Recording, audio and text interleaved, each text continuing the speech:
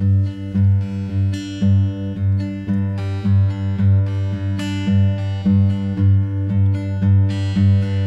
I was 25, I moved away from home, from SJ to LA, and I was so alone. With the distance between us, how I missed them so. I missed my mom and dad, and I missed my big bro.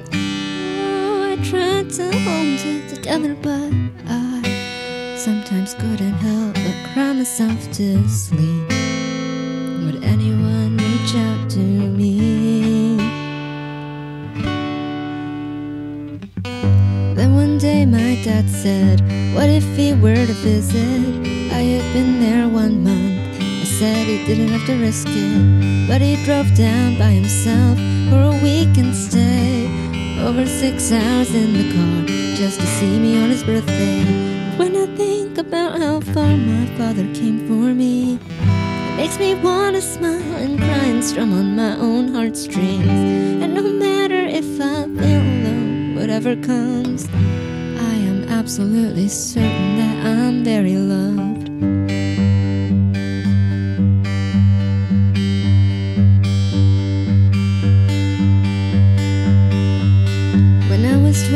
12 years of age, I had a heavy soul. I didn't feel like I had friends, and I was so alone. With all my walls around me and my fears untold, I often thought to myself they will miss me if I go. I tried to hold it together, but I sometimes couldn't help but cry myself to sleep. Would anyone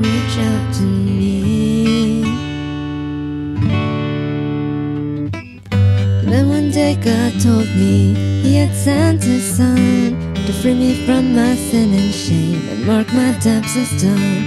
And how was my life worth it? I still don't understand why you choose to die for me, but I will thank Him with all I am. When I think about how far the Father came for me, it makes me wanna smile and cry and strum on my own heartstrings.